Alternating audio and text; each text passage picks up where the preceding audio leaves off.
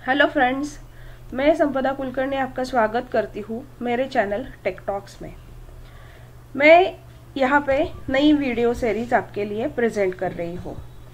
तो ये हो गया प्रोग्रामिंग के बारे में ये वीडियो सीरीज़ होगी। तो मुझे एक बात बताओ, क्या आपको प्रोग्रामिंग पसंद है और क्या आप प्रोग्रामिंग में नए हो? अगर नए हो तो क्या आपको लॉग बनाना नहीं आता है? तो ये अगर सारे आपकी प्रॉब्लम्स है कि आप प्रोग्रामिंग आपको पसंद है, पर वो आपको अभी समझ में नहीं आ रहा है प्रोग्रामिंग में आप अगर नए हो, अगर आपको प्रोग्रामिंग में लॉग बनाना नहीं आता है तो आपको चिंता करने की कोई ज़रूरत नहीं है। ये मेरी जो नई वीडियो सीरीज़ है ना, आपको ये वही हेल्प करने वाली है, जिसमें आपको प्रोग्रामिंग के बारे में ज़्यादा जानकारी मिलेगी। अगर ये सारी आपकी प्रॉब्लम्स है तो आपको चिंता करने की बहुत बिल्कुल भी ज़रूरत नहीं है, क्योंकि ये सारी चीज़ें बहुत ही कॉमन है और नॉर्मल भी है। तो आपको अगर टेंशन आ गया होगा कि मुझे प्रोग्रामिंग नहीं आता है तो अब मैं क्या करूँ तो इट्स वेरी नॉर्मल थिंग तो आपको क्या करना है? तो सबसे पहले आपको ऐसे सोचना है कि मैं कैसे इसमें आगे बढ़ सकती हूँ। तो अगर इस प्रॉब्लम का आपको सोल्यूशन चाहिए तो प्रॉब्लम के सोल्यूशन के बारे में ही मैं आपको यहाँ पे बताने वाली हूँ। तो इस प्रॉब्लम को सॉल्व करने के लिए क्या करना होगा, ये अब हम देखने वाले हैं। इस वीडियो में मैं आपको खास टिप्स देने वाली हूँ, जिससे आपका प्रोग्रामिंग करने के लिए का कॉन्फिडेंस बूस्ट होने वाला है। तो चलो स्टार्ट करते हैं। टिप्स कौन कौन सी है? इससे पहले मैं अभी आप लोगों को रिक्वेस्ट करती हूँ कि अगर अब तक आपने मेरे चैनल टेकटॉक्स को सब्सक्राइब नहीं किया है तो ज़रूर सब्सक्राइब कीजिए और बेल रिंगिंग रखिए। चलो स्टार्ट करते हैं टिप्स तो पहली टिप देखते हैं। तो फ़र्स्ट टिप क्या है? हैव अ पॉजिटिव एटीट्यूड वैसे तो बहुत बार सुना है कि थिंक पॉजिटिव पॉजिटिव एटीट्यूड होना चाहिए। तो पॉजिटिव एटीट्यूड हमें कैसे मदद करती है? यहाँ पे मैं आपको मोटिवेट करने के लिए कुछ इमेजेस दिखाई है। ये सारे आपको क्या बताते हैं कि आपको, आपका एटीट्यूड पॉजिटिव रखना है। आपको बिल्कुल भी माइंड नहीं करना है कि आपको प्रोग्रामिंग नहीं आता है तो अब क्या होगा, कैसे करेंगे? बिल्कुल भी आपको इसके बारे में चिंता करने की ज़रूरत नहीं है। You have to think yourself like that I can do it don't like I can't do it right आपको क्या पॉजिटिवली देखना है, मैं ये कर सकता हूँ, मैं ये कर सकती हूँ। जैसे कि बाकी लोग कर रहे हैं, वैसे ही मैं अच्छे से प्रोग्रामिंग कर सकती हूँ। आपको खुद पे विश्वास रखना है, आपको आपका पॉजिटिव एटीट्यूड डेवलप करना है, और उससे क्या होगा, आपका आउटकम भी पॉजिटिव आने वाला है। तो सबसे पहली चीज़ आपको ये ध्यान में रखनी है कि पॉजिटिव एटीट्यूड रखना है और मन ही मन में ये सोचना है कि मैं प्रोग्रामिंग कर सकता हूँ, मैं प्रोग्रामिंग कर सकती हूँ। ओके तो चलो नेक्स्ट टिप के बारे में अभी सोचते हैं। टिप नंबर टू अभी आपको क्या करना है? आपका तो पॉजिटिव एटीट्यूड अभी बिल्ड हो चुका है कि आप सोचने लगे हो कि हाँ मैं तो ये कर सकती हूँ। अभी नेक्स्ट स्टेप आपको क्या करना है? आपको जो नए चैलेंजेस आने वाले हैं, वो आपको एक्सेप्ट करने हैं और वो सॉल्व करने के लिए आपको रेडी रहना है। जैसे कि सिंपल एग्जांपल हम अभी देखते हैं, अगर आप ड्राइव कर रहे हो using your bicycle using your bike और car whatever you are facing the new challenges every day right while travelling अगर आप खुद की बाइक चला रहे हो तो यहाँ से कोई आता है, वहाँ से कोई सामने आ जाता है तो आप स्पॉन्टेनियसली उस चैलेंज को एक्सेप्ट करते हो और उस पर रिएक्ट भी करते हो without harming to any of the person जो बीच में आ रहा है, उन, उसको भी हार्म नहीं होना चाहिए और खुद को भी हार्म नहीं होना चाहिए। ये क्या हो गया? चैलेंज और वो आप हर रोज एक्सेप्ट करते हो, हर रोज उसके लिए रेडी रह के ही आप बाइक कार ड्राइव करते हो। ठीक है? तो यही आपको करना है। जो कोई चैलेंजेस आ रहे हैं, आने वाले हैं, उसके लिए आपको रेडी रहना है। It's a time for a new challenge क्योंकि आपको ऐसे लग रहा है कि आपको आपको प्रोग्रामिंग नहीं आता है तो take it as a challenge and complete it तो चैलेंज एक्सेप्ट करके ही आपको आगे जाना है। Challenge yourself and have a fun to know, the new things. आपको ऐसे ही माइंडसेट ही बनाना है कि मैं प्रोग्रामिंग में बहुत सक्सेसफुल होने वाला हूँ और ये मुझसे होने वाला है। इम्पॉसिबल के बारे में नहीं सोचना है। आपको क्या सोचना है?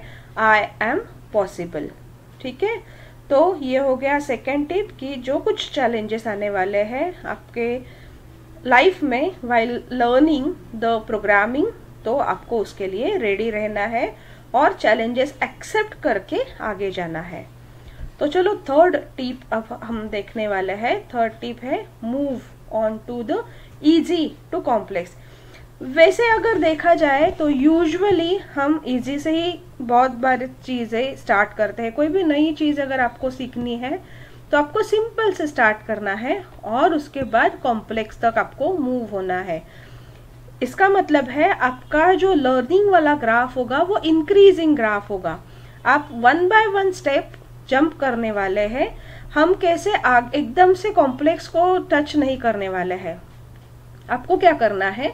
आपको सबसे पहले इजी के बारे में सोचना है सिंपल के बारे में सोचना है और उसके बाद जैसे कि आपको लगता है कि नहीं, अब मैं ये कर सकती हूँ, मैं अब कर सकता हूँ तो आपको नेक्स्ट थोड़ा सा कॉम्प्लेक्स फिर उससे थोड़ा कॉम्प्लेक्स ऐसे करके आपको एक एक स्टेप अबव होके कॉम्प्लेक्स प्रॉब्लम तक पहुँचना है और उसका सोल्यूशन आपको ढूंढना है।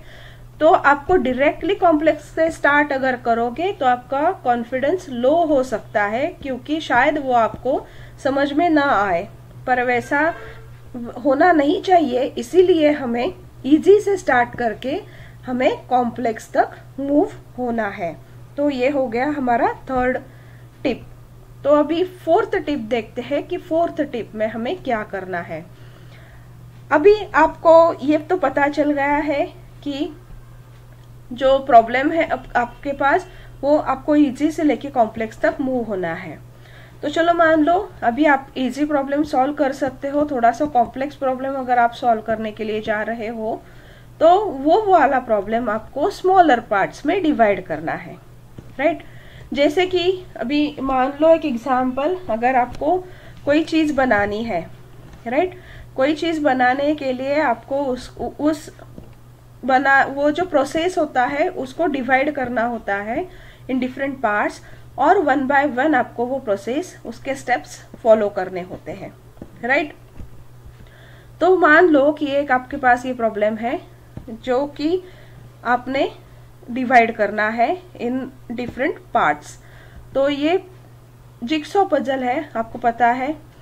वैसे ही अगर स्मॉलर स्मॉलर पार्ट्स में आपका प्रॉब्लम डिवाइड हो जाता है तो उसका सोल्यूशन आपको बहुत ज़्यादा जल्दी और अच्छे से मिल जाता है। जैसे कि ये एक प्रॉब्लम है जिसको हमने डिवाइड कर लिया और जो पार्ट्स में डिवाइड हो चुका है। डिवाइड होने के बाद क्या होता है? प्रॉब्लम जो होता है, सब प्रॉब्लम में डिवाइड होने के बाद वो कंप्यूट करना, उसको, उसका सोल्यूशन फाइंड आउट करना बहुत ज़्यादा इजी होता है। और ये करते टाइम आपको कहाँ पे फोकस करना है? आपको सोल्यूशन पे फोकस करना है नॉट ऑन द प्रॉब्लम ठीक है? प्रॉब्लम को डिवाइड करने के बाद आपको सोल्यूशन देखना है, इसका सोल्यूशन क्या है? अगर आप प्रॉब्लम में ही बंदे रहोगे तो आपको सोल्यूशन नहीं मिलेगा। एवरी टाइम आपको क्या करना है you have to find out a solution for the problems do not go forward by taking the tension or the botheration of the problem, but find out a solution by dividing that problem into the small parts. Let's move to the next tip. तो next tip अभी हमारी क्या है? Start with any favourite language right अब तक हमने general बातें की। तो चलो अभी प्रोग्रामिंग के बारे में थोड़ा सा और जानकारी लेते हैं कि यही जो पहले चार चार टिप्स दी वो भी ऑब्वियसली प्रोग्रामिंग स्टार्ट करने के बारे में ही थी, पर चलो ये थोड़ा इधर उधर की बातें हो गई। अभी कोर प्रोग्रामिंग के बारे में सोचते हैं। तो आपको पता है मार्केट में बहुत सारी प्रोग्रामिंग लैंग्वेजेस अवेलेबल है। उसमें से, देखो आप देख सकते हो यहाँ पे C C plus plus Java Python C sharp P H P JavaScript पोल ऐसी बहुत सारी प्रोग्रामिंग लैंग्वेजेस अवेलेबल है। तो इसमें से जो आपकी फेवरेट प्रोग्रामिंग लैंग्वेज होगी, उससे आप स्टार्ट कर सकते हो। अभी फेवरेट प्रोग्रामिंग लैंग्वेज आपको कैसे पता चलेगा? जैसे कि अगर आप इंजीनियरिंग का पढ़ाई कर रहे हो या साइंस का पढ़ाई कर रहे हो, चलो ये तो बहुत बड़ी बातें होगी। अभी बच्चों को बहुत एट नाइन स्टैंडर्ड से ही प्रोग्रामिंग आता है और उससे पहले भी उनको कोडिंग भी आता है। तो तभी से अगर आप कर रहे हो तो अगर आपको प्रोग्रामिंग के बारे में थोड़ी जानकारी है और प्रोग्रामिंग लैंग्वेजेस के बारे में थोड़ी जानकारी है तो उस लैंग्वेज से भी आप स्टार्ट कर सकते हो। क्या होता है ना, हर एक लैंग्वेज का सिर्फ़ सिंटैक्स अलग होता है। अगर आपको प्रोग्रामिंग आने लगती है तो इट डजेंट मैटर कि आप कौन सी लैंग्वेज चूज़ करते हो।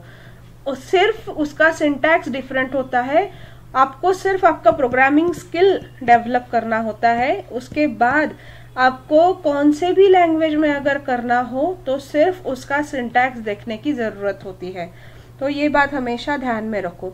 पर ये हो गया आगे की बातें। अगर आपको स्टार्ट करना है तो आप कौन से भी फेवरेट लैंग्वेज से स्टार्ट कर सकते हो।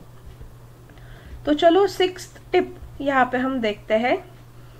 अगर आपको ऐसे लगता है कि, ठीक है बाबा, मैं तो प्रोग्रामिंग करना चाहता हूँ, मुझे ये सी और सी प्लस प्लस और एनी अदर लैंग्वेज इसमें बहुत ज़्यादा इंटरेस्ट है, वो मेरी फेवरेट लैंग्वेज है, पर फिर भी मैं कर नहीं पाता हूँ। तो आप क्या कर सकते हो कि जो प्रोग्रामर्स के रेडीमेड कोड्स इंटरनेट पे अवेलेबल है, वो आप गो थ्रू कर सकते हो। जैसे उसके लिए बहुत सारी वेबसाइट्स अवेलेबल है। स्टैक ओवरफ्लो वेबसाइट है गिटहब वेबसाइट है बिट बकेट वेबसाइट है। तो ये सारे क्या करते हैं ना आपको? ये सारे आपको रेडीमेड कोड अवेलेबल करके देते हैं, जो कि पहले किसी प्रोग्रामर ने किए हुए हैं। तो इससे क्या आपको मदद होगी? अगर आपको, आप कोई एक पॉइंट पे स्टक हो रहे हो और उसको सोल्यूशन आपको नहीं मिल रहा है कि ये चीज़ मैं प्रोग्रामिंग में कैसे कर सकूँ तो उसके लिए आप इन वेबसाइट्स की मदद ले सकते हो। वहाँ पे कोड दिया होगा और वो कोड आप गो थ्रू करके, आप चेक करके आप वो प्रोग्रामिंग प्रोग्रामर देख प्रोग्राम देख के आप आपका खुद का प्रोग्राम कंटिन्यू कर सकते हो। तो जो कोड अवेलेबल है, आप आपके फ्रेंड का भी कोड देख सकते हो। नॉट नेसेसरी कि ये सारी वेबसाइट आपको देखनी चाहिए। आप आपका फ्रेंड का भी कोड देख सकते हो। और नेट पे बहुत सारे कोड अवेलेबल होते हैं। नॉट नेसेसरी कि यही वेबसाइट आपको देखनी चाहिए। तो आप उनका भी रेफरेंस लेके कंटिन्यू कर सकते हो। तो नेक्स्ट टिप जो है हमारी, वो है प्रोजेक्ट्स क्रिएट करना। अभी तो अभी ये मान लो कि आप बहुत आगे बढ़ चुके हो। आपको पहले तो प्रोग्रामिंग के बारे में फियर था, वो निकल चुका है। अभी आप प्रोग्रामिंग करने लगे हो।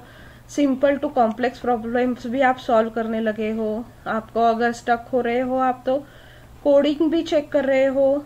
तो अभी आपकी बारी है खुद को बूस्ट करने के लिए आप छोटे छोटे प्रोजेक्ट्स करना सीख रहे हो। तो आपको जैसे कि स्मॉलर और simple to the complex solution आपको मूव होना है, वैसे ही आपको पहले छोटे छोटे प्रोजेक्ट करना है मिनी प्रोजेक्ट्स करना है then you have to move to the major projects right अगर पहले ही आप डायरेक्टली मेजर प्रोजेक्ट पे मूव हो रहे हो तो शायद फिर से आपको कॉन्फिडेंस लूज हो सकता है, वो आपको नहीं करना है। आपको कहाँ से स्टार्ट करना है? आपको छोटे छोटे प्रोजेक्ट मिनी प्रोजेक्ट से स्टार्ट करके मेजर प्रोजेक्ट को मूव होना है। अभी छोटे छोटे प्रोजेक्ट करते करते आप ये भी कर सकते हो कि छोटे छोटे एप्स बना सकते हो, जो कि आप ऐप स्टोर पे या प्ले स्टोर पे उसको पब्लिक कर सकते हो, या विंडोज़ के कोई एप्स आप बना सकते हो, कोई वेबसाइट डिज़ाइन कर सकते हो तो ये सारी चीज़ें आपको करने के बाद आपका कॉन्फिडेंस और बूस्ट होने वाला है। तो आई होप आपको ये सारी टिप्स बहुत ज़्यादा काम में आएगी, मदद करेगी to boost your confidence for a programming language so thank you friends for listening and watching this video अगर आपको इस वीडियो के कंटेंट अच्छे लगते हैं तो वीडियो को लाइक करना ना भूलिए। आपके फ्रेंड्स के साथ शेयर करना भी ना भूलिए। और अगर अब तक आपने सब्सक्राइब नहीं किया है तो सब्सक्राइब करना भी ना भूलिए। Thank you friends happy learning happy programming